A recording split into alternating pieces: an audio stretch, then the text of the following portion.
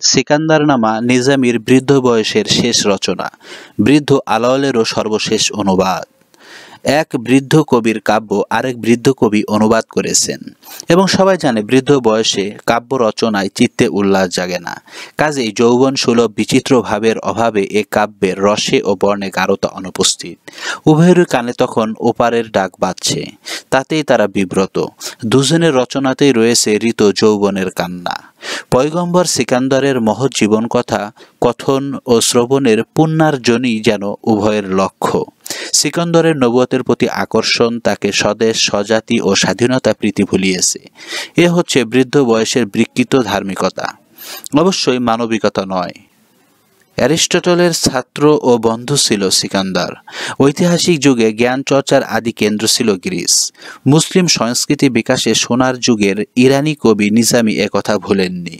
ইরানও যে প্রাচীনতম সভ্যতার সূতিকাগৃহ এবং গ্রিকেরা যে ইরানি মনীষার কাছে ঋণী, তার গৌরব সর্ব ও প্রকাশ পেয়েছে। আলাওয়াল তার কাব্যে উল্লেখ করেন, রোমের ভেতরে মুখ দুনিয়া নামে এক রাজ্য।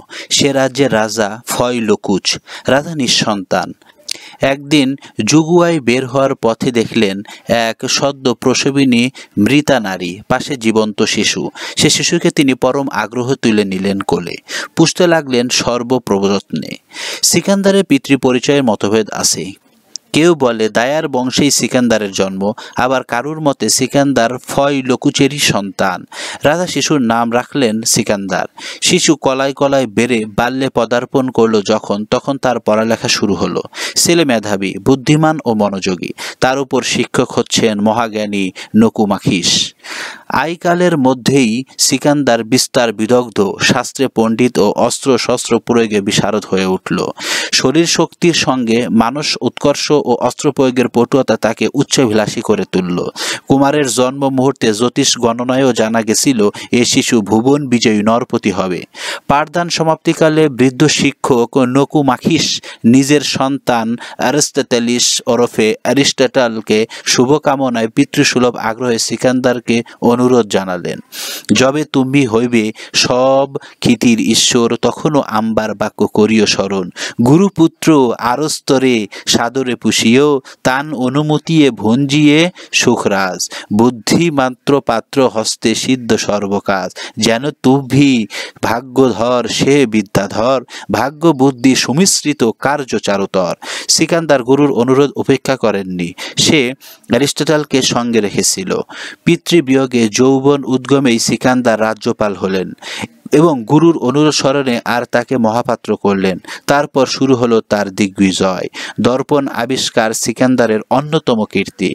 জঙ্গি রাজ্য আবিসিনিয়া। সে রাজ্যের মানুষ খেকো বর্বর হাফসিরা মিশরবাসীদের উপর অকথ্য উৎপীড়ন করে। সিকান্দার ন্যায়পরায়ণ ও বীর নরপতি। তাই প্রতিকারের আশায় তারা সিকান্দারের ধারে ধর্ণা দিল। সিকান্দার প্রথম অভিযান এই জঙ্গিদের বিরুদ্ধেই।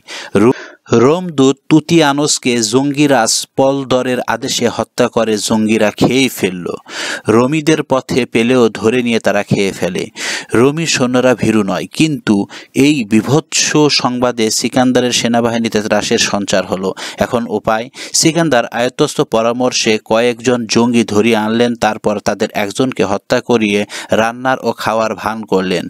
এতে অপর বন্দীরা ভারী ভয় পেল। সিকান্দার রাত্রে তাদের বন্ধন ও পাহারা শিথিল রাখার ব্যবস্থা করলেন। যাতে তারা পালিয়ে গিয়ে রটিয়ে দিতে পারে যে জঙ্গিদের মতো রুমিরাও মানুষ খেকো। এতে সুফল পাওয়া গেল। জঙ্গিরা ত্রাস পেল আর রুমিরা নির্ভয়ে অমিত বিক্রমে বহু যুদ্ধে জঙ্গিরাজ্য দখল করে নিল। এটিই হলো সিকান্দারের প্রথম জয়। জঙ্গিরাজ পলঙ্গরের ধন ভাণ্ডারের সিকান্দারের হাতে এলো। মিশরি দেশও তার বশ্যতা স্বীকার করল। উত্তর আফ্রিকা এভাবে জয় করে সিকান্দার বহু বসতীয় নগর পত্তন করল। ইস্কান্দারিয়া আলেকজান্ডারিয়া তার অন্যতম। জঙ্গি রাজভাণ্ডারে প্রাপ্ত ধনরত্নের কিছু কিছু সিকান্দার অন্যান্য মিত্র রাজাদের কাছে উপহারস্বরূপ পাঠালেন। দারার কাছেও পাঠালেন। মুখ দুনিয়া ছিল দারার করদ রাজ্য।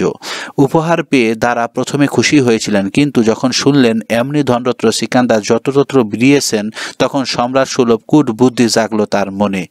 দ্বারা বিপুল বাহিনী নিয়ে সিকান্দারের সাথে যুদ্ধ করার জন্য মুখদুনিয়া যাত্রা করল। কয়েকদিন ধরে মরণপণ যুদ্ধ চলল, কিন্তু তখনও জয় পরাজয় অনিশ্চিত। অবশেষে দারার দুই পাশ্চর বিশ্বাস ভঙ্গ করে দারাকে হত্যা করে। মুমূর্ষ দারার সঙ্গে রণক্ষেত্রে সিকান্দারের দেখা হলে সিকান্দারকে সে তিনটি অন্তিম অনুরোধ জানায়। সেই তিনটি অনুরোধ হল, বিনা অপরাধে মরে যে করিল বল, বিচারিয়া আপনে উচিত দিবা ফল। দ্বিতীয় সেবা এ মোর ছিল যথ রামা, সত্য দৃঢ় রাখি কাম ভাব দিবা ক্ষমা। তৃতীয়া দুহিতা মোর রৈষ্ণক নাম, সচিরতি যিনি রূপ অতি অনুপাম। তোমার সেবা এ দিনু যত্নে পালিও, কয়ানি বংশের মান চিত্তে রাখিও। সিকান্দার দ্বারার অন্তিম অনুরোধ অক্ষরে অক্ষরে পালন করেছিলেন। দ্বারার পরাজয়ে ইরানে সিকান্দরের পদানত হল। দ্বারার পরাজয়ে সিকান্দরের আত্মবিশ্বাস ও সাহস অমিত হয়ে উঠল। সিকান্দার দিগ্বিজয়ের অভিলাষে বের হয়ে প্রথমে গেলেন ইরানে। সেখানে। রাজা শাসনের সুব্যবস্থা করে জ্বর স্থুরীদের অগ্নি উপাসনা বন্ধ ও মোগানদের কদাচার নিষিদ্ধ করে এগিয়ে চলল বাবল বা ব্যাবিলন দেশের দিকে। এই বে বাবেলেই ছিল ফেরেস্তা হারুত মারুত নেমে এসেছিল। এদেশীয় মেয়ে জোহরাই আসমানে তারা হয়ে ফুটে আসে। বাবেল দেশ দখল করে সেখানে অগ্নি উপাসনা মন্দির সারখার করে দিন নিয়ে ইসলাম জারি করল। তারপর গেলেন আজারবাদে, সেখান থেকে গেলেন সিফাহানে। সিফাহানের পথে খায়ানি বংশীরা এক রূপসী মায়াবীর সঙ্গে সিকান্দার বাহিনী শক্তি পরীক্ষা হয়। অবশেষে রুজি জাদুকর বালিনারের তিলিশমাতের কাছে মায়াবী হার মানল আর বালিনাস তাকে ঘিরে বিয়ে করে সঙ্গে নিল। সিফিস্তানে পৌঁছে সিকান্দার দানে ও দয়ায় সবাইকে তুষ্ট করে আর দেশ শাসনের দুর্নীতি দূর করে সবার হৃদয়ে জয় করল। তারপর আরস্তকে পাঠালো তার পত্নীর কাছে রোশনলককে সাদির পয়গাম দিয়ে। দ্বারা পত্নী আগেই লোকমুখে সিকান্দারের গুণগান নানা কথা শুনেছিল। কাজে পয়গাম পেয়ে তিনি রাজি হলেন। দেশময় উৎসব লেগে গেল। গন্ধে আলোকে কুসুমে সারা দেশে সজ্জিত হলো। কয়েকদিন ধরে দেশময় মহোৎসব চলতে লাগল। এর মধ্যে মহা ধুমধামে সিকান্দার রোশনকের বিয়ে হয়ে গেল। কয়েক মাস ধরে পয়গম সুখের দাম্পত্য জীবন যাপনের পর রোশনকের সন্তান সম্ভব হওয়া হলে সিকান্দার আরস্ততের সাথে রোশনককে মক দুনিয়ায় পাঠিয়ে দেন। সেখানে সেখানে যথাসময়ে তিনি এক পুত্র রত্ন প্রসব করেন। সিকান্দার অভিপ্রায় ক্রমে কুমারের নাম হলো ইস্কান্দার। রৌশনক পটরা রানী রূপে স্বামীর অনুপস্থিতিতে রোম শাসন করতে থাকে। এদিকে সিকান্দার ইস্তরক প্রভৃতি দেশ প্রদানত করে মক্কায় গেলে কাবা জিয়ারত। পথে পথে দুহাতে ধনরত্ন দান করে তিনি কেবল জমি নয়, জয় করে চললেন জনগণের চিত্তেও। আর করলেন বসতবিহীন স্থানে জনপদ, ষষ্ঠী ও নগরপত্তন। কাবা জিয়ারত শেষে সিকান্দার আজারবাদের রাজার এক পত্র পেলেন আবজ জাখের দুর্দান্ত রাজা দেয়ালি, তারা সমস্ত হচ্ছেন আরমান রাজ। এরা অগ্নি উপাসক। দেয়ালি প্ররোচনায় আরমান রাজ নানা অনাচার সদানিয়ত সিকান্দার যদি এইসব দুর্নীতি দূর না করেন, তাহলে দিনে ইসলামের চিহ্নও থাকবে না এসব দেশে। অতএব এর প্রতিকারে তার আশু উপস্থিত প্রয়োজন। সিকান্দার এ জবাবে সাড়া দিল। দুয়ালি বিনা যুদ্ধে বর্ষতা স্বীকার করল। সিকান্দারের আদেশে সে রাজ্যের সবাই মুসলমানি দিন পুজে রোমের নিয়মে। এরপর সিকান্দার বারদা রাজ্যের দিকে এগিয়ে গেল। এই বারদার পূর্ব নাম ছিল হোরাম, রাজ্যেশ্বরীর নাম নৌসভা।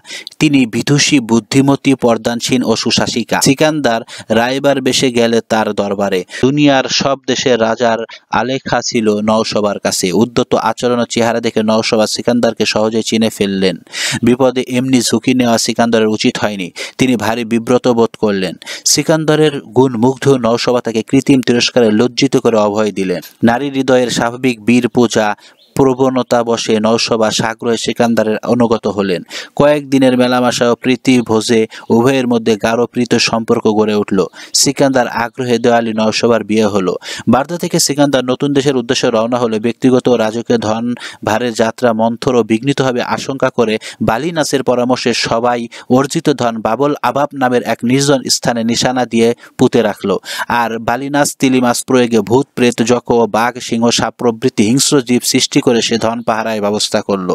এরপর নিশ্চিন্তে সবাই নতুন দেশের জয়ে এগিয়ে চলল। এবার আল বুর্স পর্বত চূড়ার দস্যুদের দুর্গ এক বৈষ্ণব সাধুর কেরামতি যোগে ধ্বংস করে উপত্যকা অঞ্চলের লোকদের নিঃশঙ্ক করলেন সিকান্দার। তারপর কায়ানি বংশীয় শাড়ির রাজাকে বসে আনলেন। সেখানে তিনি তকুইফি দুন ও জামিয়া জামাসে দেখে নয়ন সার্থক মানলেন। এরপর গিলান, খোরাসান, নিশাপুর প্রভৃতি দেশ জয় করে এবং অগ্নি পূজা নিষিদ্ধ করে হিরবাদে গেলেন। সেখানে তিনি ইসলাম জারি করে কির কিরমান গজনি, গৌর, মোশেদ প্রভৃতি পদানত করে হিন্দুস্তান অভিযানে এগিয়ে এলেন তিনি। এখানকার কায়ত রাজা স্বেচ্ছায় নিজ দুহিতা, হস্তি ও এক অদ্ভুত পাত্র, এক বৃদ্ধ জ্যোতিষী, এক ভিষক ও বহুধন উপহার দিয়ে বিনা যুদ্ধে সিকান্দারের আনুগত্য স্বীকার করে নিলেন। কনজের রাজা ফর ও তার অনুগত হলেন। এবার সিকান্দার চীনের দিকে যাত্রা করল। পথে ফুর রাজ্যও তার পদানত হলো।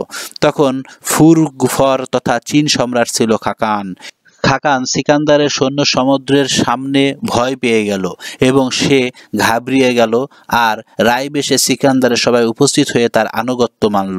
সিকান্দার যুগবহুল ত্রিগাচ্ছিদিতে খাকান রাজ্যে মৃগ বিশ্রামে অনেক দিন যাপন করলেন। একদিন দরবারে চীনা রুমির অমিরদের মধ্যে চীনা রুমির শিল্প নৈপুণ্য নিয়ে তর্ক বাঁধল। স্থির হলো চীনা ও রোম শিল্পীদের এক টঙ্গি ঘরে চিত্রাঙ্কন করবে। উভয় জাতির শিল্পীর চিত্র যাচাই করে কোন জাতির নৈপুণ্য বেশি তা নির্ণীত হবে। শিল্পীরা কাজে লেগে গেল। তাদের আঁকা শেষ হয়ে গেলে একদিন সিকান্দার ও রাজা খাকান সপার্শ্বদ চিত্র দর্শনে গেল। তারা সবিস্ময়ে দেখে গেল দুই বিপরীত দেয়ালে অঙ্কিত দুই পক্ষের চিত্র হুবহু এক। একই করে সম্ভব? তা কেউ ভেবে পান না। অবশেষে বালিনাস মাঝখানে পর্দা টেনে দিলে তখন সকৌতুকে সবাই দেখল এপারের চিত্রের প্রতিরূপ বা প্রতিবিম্ব যেন অপর চিত্রে প্রতিফলিত হয়েছে। এবার সিকান্দার দেশে ফেরার বাসনায় খাকান রাজ্য ত্যাগ করল। রাজা খান তাকে উপহার দিলেন এক শিকারী পাখি, এক খতনি ঘোড়া আর নিত্যাগী পটিয়সী এক স্বরূপ খতনি বীরাঙ্গনা। সিকান্দারের দেশে যাওয়া হলো না। পথে অবজাক বা ইজাজ রাজ দেওয়ালি এসে গুহারি জানালেন তিনি সিকান্দারের সঙ্গে দেশান্তরে ছিলেন যখন, তখন রুশেরা এসে তার রাজ্যে অকথ্য অত্যাচার চালিয়েছে। নির্বিচারে লোক হত্যা করেছে। পরবর্তীতে সিকান্দার রুশ দখল করে এবং রুশ জয় করে সে আবার ফিরে আসে। অবশেষে বালিনাসের পরামর্শে আবৃত নারী মূর্তি স্থাপন করে অনেক কৌশলে নারী মনে লজ্জা সঞ্চার করে যে অঞ্চলে নারীদের লজ্জা ছিল না সেই অঞ্চলে। এরকম বিভিন্ন ধরনের যুদ্ধ অপেক্ষা করে সিকান্দার একসময় তার দেশের দিকে রওনা হয়। এভাবেই আলাওয়াল তার সিকান্দার নামার ভিতরে সিকান্দারের বিভিন্ন ধরনের যুদ্ধ এবং যুদ্ধের কারিকাজ এবং যুদ্ধের সময়ে তার ঘটনা প্রবাহগুলো সিকান্দার নামায় বর্ণনা করেছেন।